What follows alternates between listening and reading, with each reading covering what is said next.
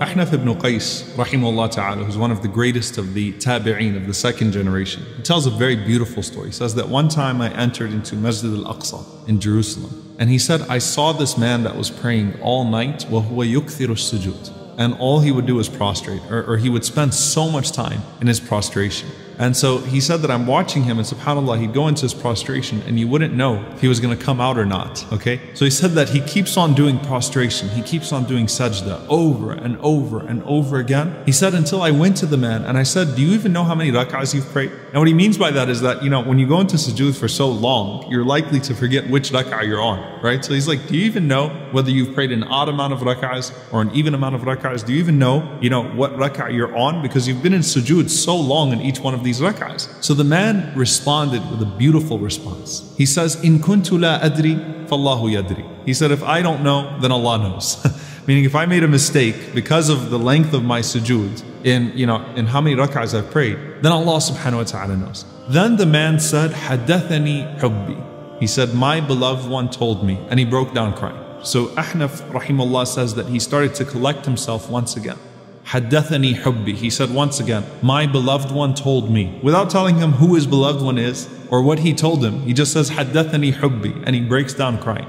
Then Ahnaf, rahimullah, says, I started to console him. And he said, finally he collected himself and he says, Haddathani hubbi Rasulullah sallallahu alayhi wasallam. He said that my beloved one, Rasulullah sallallahu alaihi wasallam told me, إِنَّكَ مَا سَجَدْتَ لِلَّهِ سَجْدَ That you do not make a sajda to Allah subhanahu wa ta'ala. You do not make a single prostration to Allah subhanahu wa ta'ala. إِلَّا رَفَعَكَ اللَّهُ بِهَا دَرَجَةً Except that Allah increases you as a result of it by one degree.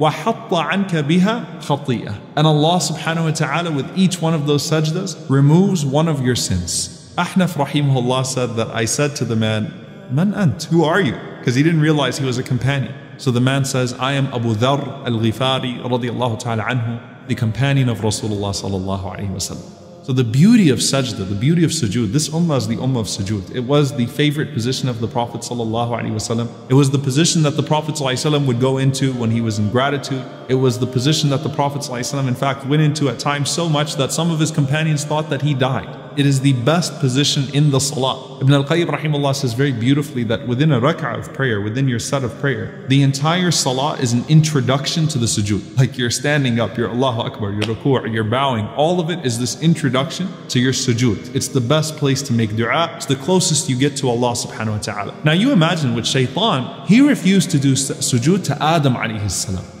What about you to Allah subhanahu wa ta'ala? Allah praised Ar-Raki'un As-Sajidun. He praised them by calling them by Ar-Raki'un, the believers by those who bow and those who prostrate. And the Prophet ﷺ says that it is the closest you can be to Allah subhanahu wa ta'ala. أَقْرَبُ مَا يَكُونُ الْعَبْدُ لِرَبِّهِ The closest you can, the servant can be to Allah subhanahu wa ta'ala in his sujood. There's a beautiful statement that, you know, it's amazing that you whisper into the earth and the one above the heavens hears you. Subhanallah. And that's how you get closest to him. Why? Because the more you lower your body, the more your soul ascends.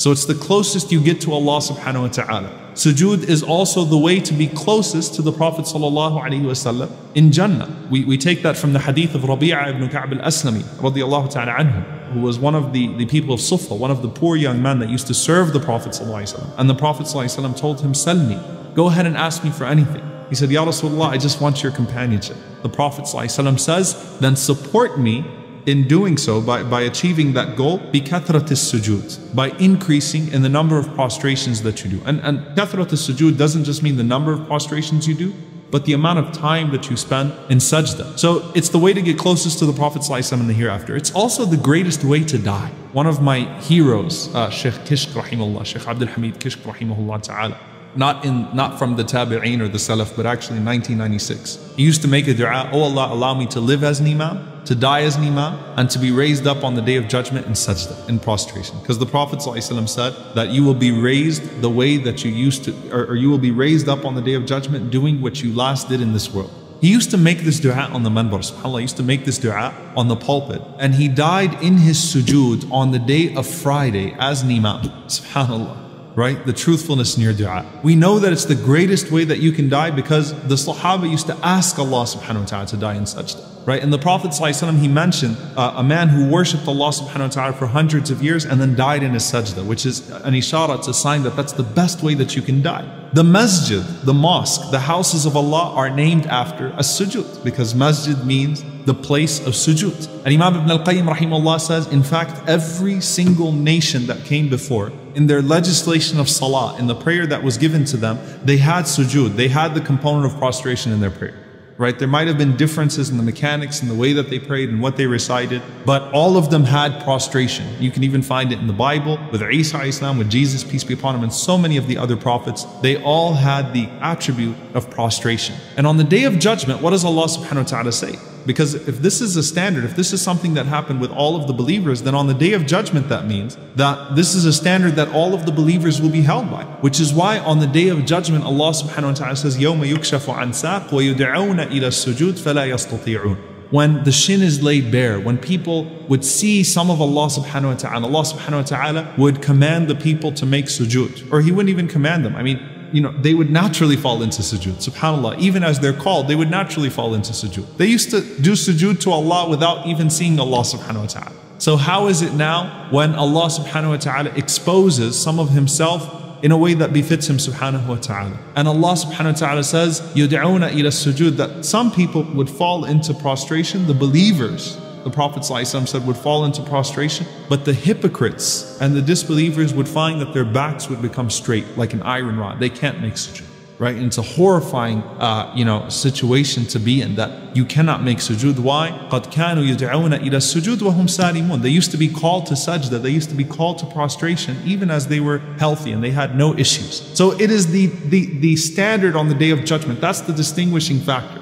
And the Prophet ﷺ said that the people of faith would be known by the marks of sujood on their foreheads. And that mark of sujood on your forehead, the Prophet ﷺ said, even the people, because there will be some believers that will go to hellfire for some time, and they'd spend some time there for some transgressions that they committed. But the Prophet ﷺ said, the fire cannot consume the place of sujood that's on your face. Allahu Akbar. The fire can consume the rest of your body, but it can't consume that the place of your sajda. And subhanAllah, even the earth. We spoke earlier about how the earth cries and what that means when we say the earth cries. What does the earth cry about? The earth cries, you know, the part of the earth that you used to do sujood on, cries when you pass away because it will miss the effect of that sajda. It will miss the effect of that prostration. So it is, you know, it is the greatest honor to the earth even that you do sajda upon it. And subhanAllah, we find that honor is not just with sujood to Allah in this world, but even in the next, because we find with the Prophet wasallam in his greatest maqam, al-shafa' al-uzma,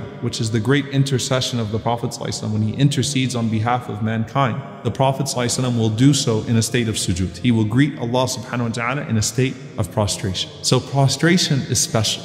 And you know, one of my favorite books to read is the autobiography of Malcolm X, rahimahullah ta'ala, another hero, Malcolm X and Hajj Malik al-Shabazz. Malcolm, rahimahullah, he actually talked about when he was learning the actual prayer, how difficult the sajda was, how difficult the prostration was. Because, you know, it's such a humbling experience. But he came, you know, and he'd been beat down his entire life. So it, it really, you have to really fight with your ego to be able to make sajda. And Malcolm was a proud man, in a good way. Malcolm was a proud man, rahimahullah ta'ala. So he found it difficult to make sujood. But Malcolm, rahimahullah ta'ala, he says that when he made sajda to Allah subhanahu wa ta'ala, right? When he realized that prostrating to Allah subhanahu wa ta'ala is not, not only is it not humiliating, it's actually liberating, it's actually empowering, it's actually dignifies you, right? So they never wanted to get up. And so subhanAllah, we ask Allah subhanahu wa ta'ala to allow us to increase in our sajda in this world. We ask Allah subhanahu wa ta'ala to allow us to die in our sajda and to allow us to be raised up in a state of sajda.